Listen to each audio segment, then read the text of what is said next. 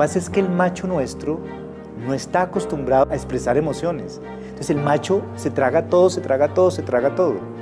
Yo creo que en términos de salud mental es mucho más sana una mujer que logra expresar lo que siente a un hombre que no logra expresar lo que siente. Que como nos hemos cerrado a procesar de una manera proactiva o positiva todo eso que nos ha pasado en la crianza y demás, pues derivamos el suicidio como una manera de escape definitiva.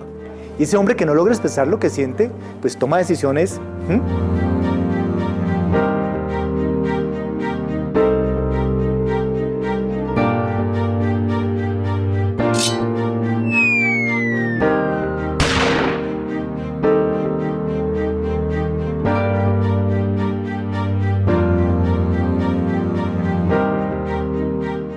Además, escogemos por lo regular los mecanismos de suicidio más contundentes como corresponde a los hombres, que es un disparo en la sien, en la cabeza o el ahorcamiento.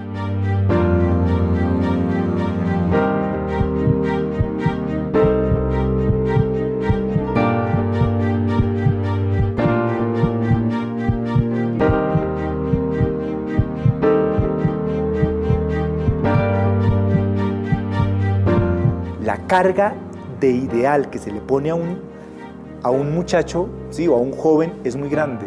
Entonces, claro, cuando el muchacho no logra llegar a ese nivel de exigencia que se le está poniendo la cultura porque él es un hombre, viene esta sensación que te decía de no la logré, soy un fracasado, y los hombres ya maduros, pues porque entran en un periodo de decadencia. Eso es muy duro para el ego de los machos.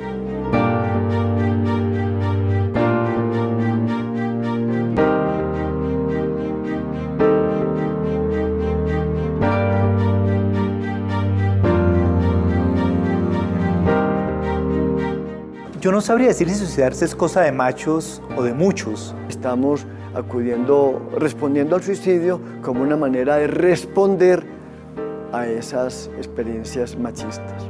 Entonces de pronto, sí, si yo me mato, sí, pues suena que soy un berraco.